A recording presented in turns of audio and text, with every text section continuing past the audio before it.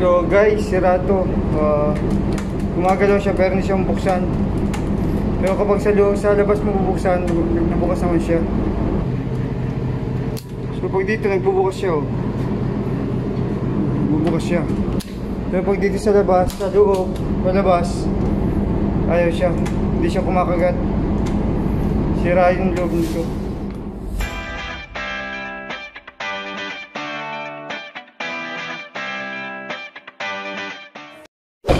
Guys, uh, may gagawin naman tayo. Uh, fabrication ulit.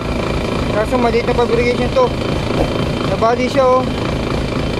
Dito na ako saan to, uh, digital ano, uh, door lock to. Yan. Sa labas. So nabali siya. So kailangan natin mag-fabricate ng ganito. Another one. Yan. Akala ko meron ng spare.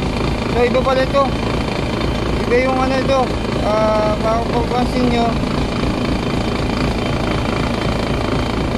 Siya parehas.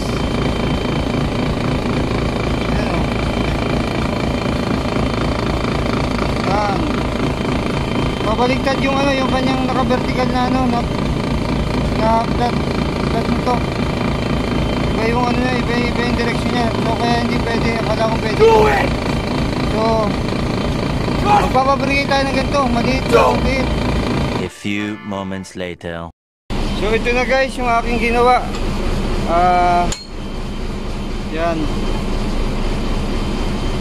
So ginawa ko to, uh, nag-turno muna ako ng ano ng ah, 14mm na round bar. Kasi wala tayong 14mm na round bar. So ginawa ko, uh, nag-turno muna ako para kasi ito 14mm to eh. Yung bilig to 14mm din. Ginikid ko na lang. So next next step natin yung ano yung tunggil. Tunggil man tawag sa Tagalog sa Batangganya tunggil. Yung ganto, yung ganto. Yan. So okay na siya. Mahaba lang konti, babawasan ko pa. So Kakatingan ko dito yan, bibiyakin ko tapos sa uh, i-welding ko na, igagasweld ko na lang dito para maging ganito rin. So tuloy-tuloy ko lang. Tuloy ko lang guys, para matapos na. A little later. Guys, ito na, malapit na. So, hihinahin ko na lang to. Ito yung ginawa ko, inipit ko siya oh. Tapos, hihinahin na lang to. At uh, puputulan na lang. Lapit na, tapos na.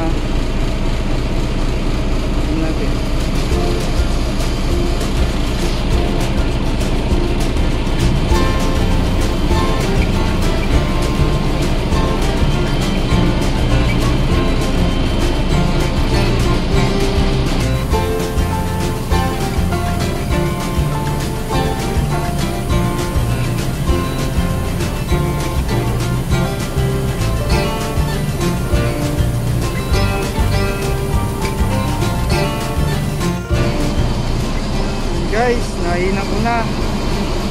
So kikiling ko na naman ngayon. Para magpantay siya, kikil naman. Para okay na. Alright. A few moments later. so guys, ito na. Tapos na yung ating ginawa. Nakakabit na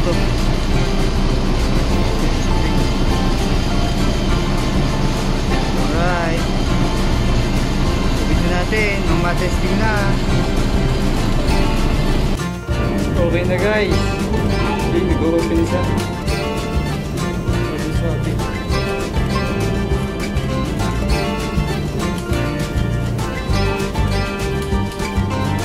Tapos na naman. So, bye-bye. See you on my next vlog. Bye-bye.